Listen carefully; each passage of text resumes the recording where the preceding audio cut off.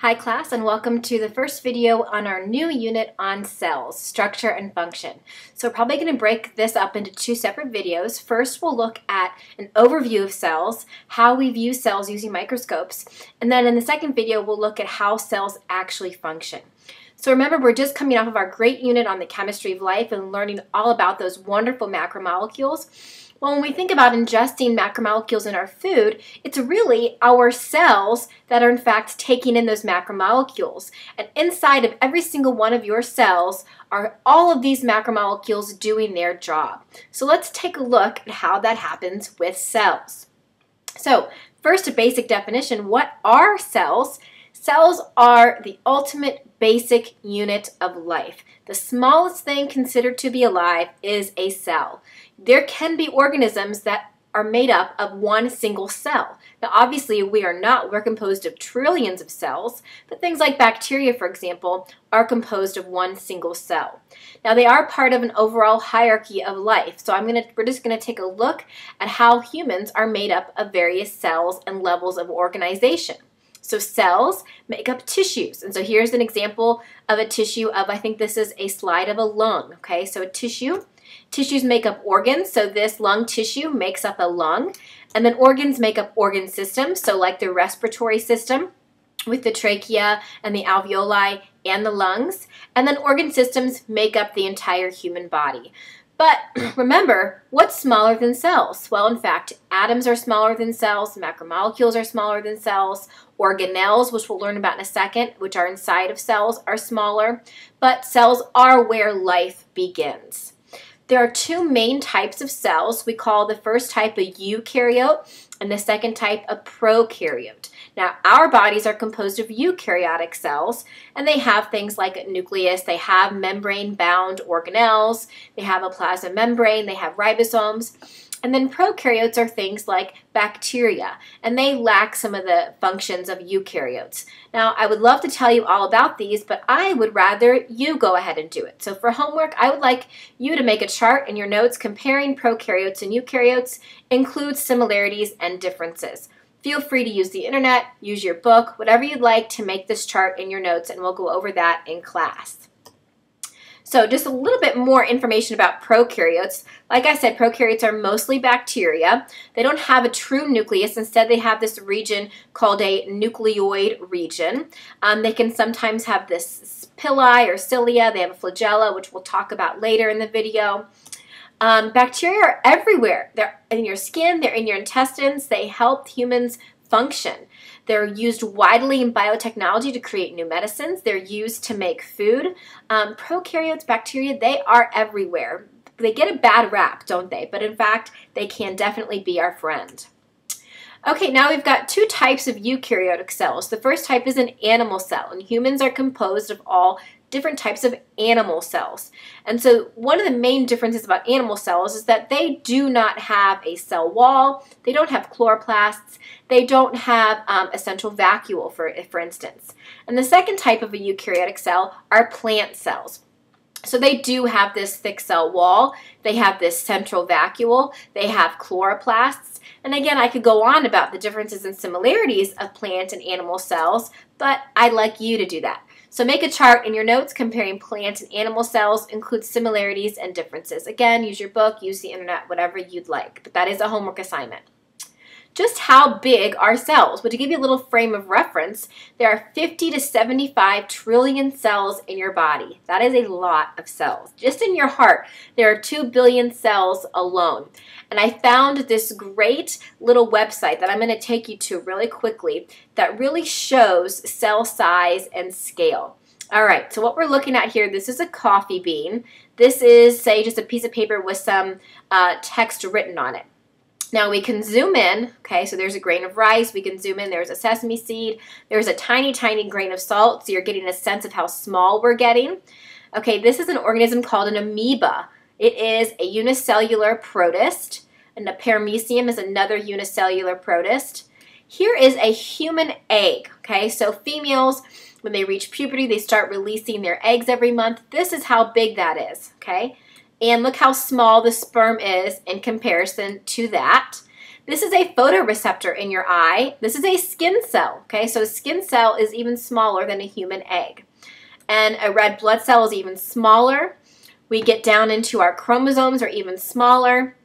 A bacteria is even smaller than that. A mitochondria, which is inside of your cells, is even smaller than that.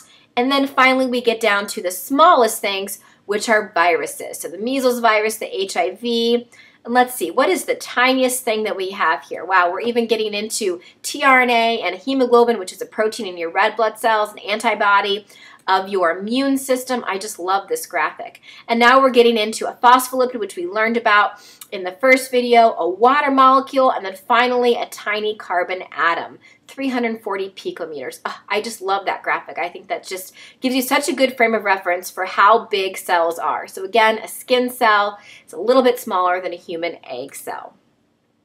Okay. If cells are so small, which I just proved to you, I hope that they are, how can we see them? Well, we have to use microscopes, and we're going to learn about two types of microscopes. The first type is called a light microscope, and this is what we're going to use in the lab. It can magnify up to a thousand times, and it can view living cells in motion. So it's a great tool for us to study living cells. The other type is called an electron microscope, and this is very expensive, a very nice microscope. We don't have one in the lab, but hopefully we'll be able to take a field trip sometime and see one. You can go up to 100,000 times magnification. However, the drawback for electron microscopes is that cells must be dead and specially prepared in order to view them. So here's an ant under a scanning electron microscope. Here's a poliovirus under a transmission electron microscope. Now there are two differences. There are differences between these microscopes. A scanning electron microscope only is looking at the surface of the structure. So we're just seeing the surface of the ant. A transmission is actually a cutaway and you can view internal structure. So picture maybe a big fruit and nut bread, a loaf of bread. If you cut away, you can see inside the bread and see all the raisins and the nuts in there. That's what a transmission electron microscope does. How do cells work? Well, every cell in your body has a specialized function, and so it's shaped a little bit differently and works a little bit differently. So I'm just going to give you a few examples. Your nerve cells have a very unique shape, and their shape, again, fits their function because their job is to get a signal and then transmit, transmit that signal down these long axons. You have muscle cells, and so these are three actually different types of muscle cells, skeletal, cardiac, and smooth. And you can see that they're long and thin, they're banded, and that's so that they're flexible and so that they can be strong. You have skin cells, and lots of different types of skin cells, in fact. Uh, simple, simple cuboidal, uh, columnar. Um, so these are what make up your outside skin and the lining of most of your intestines, for example. So these are all cells, okay? But they all have some things in common. They need some basic structures. And these basic structures are called organelles, which literally means little organs. And collectively, all of these organelles function to make energy for your cells, make proteins for your cells, move the cell, store, transmit genetic information, destroy or recycle dead or waste material, and finally, to communicate with other cells. So even though your body is made up of all these different types of cells, they do have these basic things in common. So let's start to take a look at these functions and then we'll finish that in the second video. So first and arguably most important function is to store and transmit genetic information.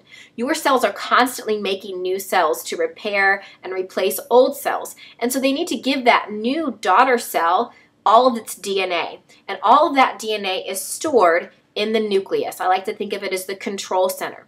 So here's the nucleus and I'm going to break apart all the different parts for you. First, we have the nuclear envelope. It's a double membrane, an outer membrane and an inner membrane that encloses all of the genetic information. And it has these little pores. I want you to think about and write down in your notes why. Why does this nucleus have these little pores? Think about a wiffle ball with all the big holes in it. That's what the nuclear envelope looks like.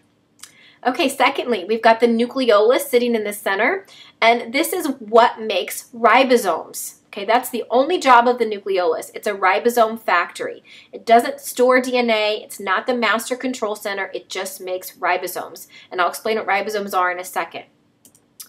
The main thing that's in the nucleus is your DNA, your chromatin. So here are two new vocabulary words. Chromatin is simply loosely coiled DNA. So it's just like if you've got a, whole, a ball of yarn or a ball of string, if that's what chromatin is.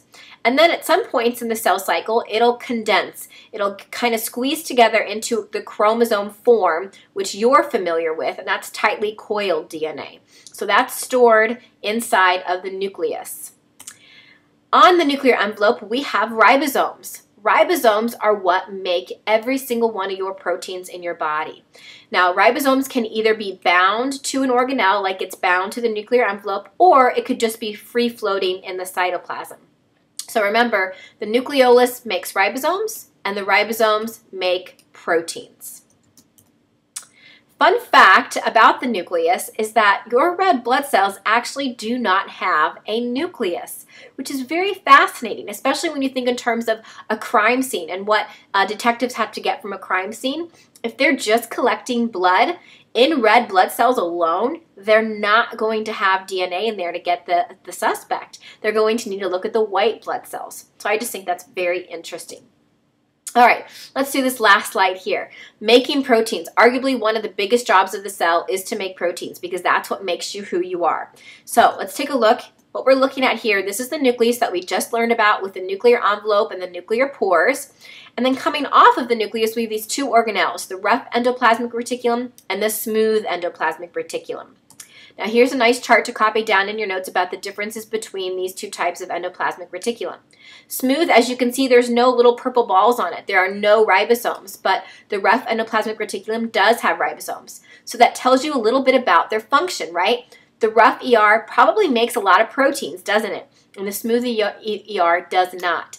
What the smooth ER does is it makes lipids. Lipids for especially membranes. Every single one of these organelles that we're going to look at is made up of a phospholipid membrane. Isn't that cool? Okay, rough ER is going to also make additional membrane for itself to repair itself. Smooth ER metabolizes carbohydrates and it detoxifies drugs, poisons. Anytime you take a medicine, it's going to go through the smooth ER. And then the rough ER makes proteins destined for secretion.